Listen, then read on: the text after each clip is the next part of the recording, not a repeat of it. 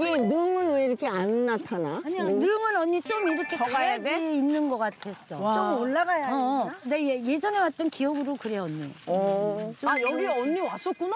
30년 전에 아 30년 전에. 음, 놀러? 도윤이 임신해가지고 응. 도윤 한번 여기 능을 와봤어. 어. 나도 나중에 우리 태교. 아들을 어 그래? 나 여기 세종대왕 능 와, 오면서 느낀 게 세종대왕께서는 여기 여주에 와 계실까? 들어오게. 내가 이전한 것까지는 아는데 왜 그러실까? 이유가 뭘까요?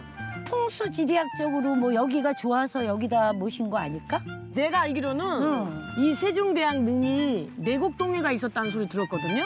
내곡동? 어, 내곡동? 예, 예. 어. 그런데 아 이제 그러면 태종 이방원이 이제 거기 아. 내곡동에 응, 응. 헌인능에 계신데 어.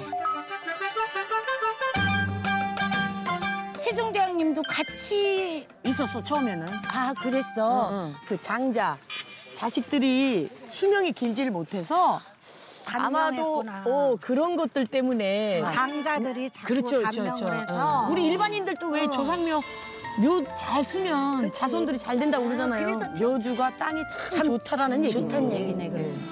저기 언니 저기 봐 세종대왕님 계신다 와. 어. 세종대왕 하면은 뭐 한글이지 뭐. 그렇지. 가장 저분이 없었으면 우리 글이 없죠.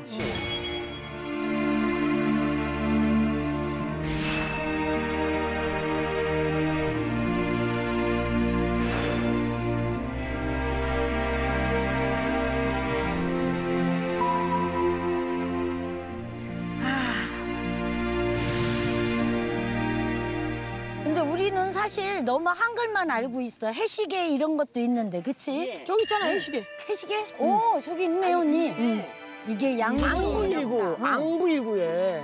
그래 이거는 우리가 늘 흔히 보던 해시계네 음.